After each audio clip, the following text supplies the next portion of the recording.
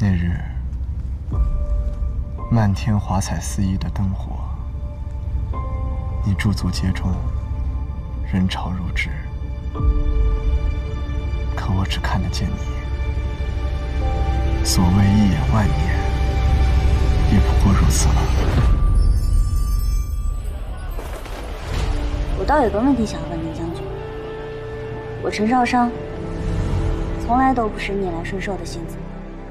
我性情固执顽劣，不服从管教，更不会听你的话。这样的我，你还想娶吗？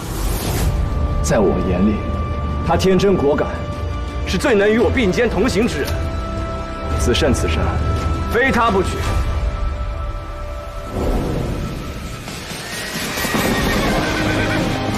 我从小不被人疼爱，我也不知如何爱人。难免只有你的用心。这么些年来，我从未真正有过家人。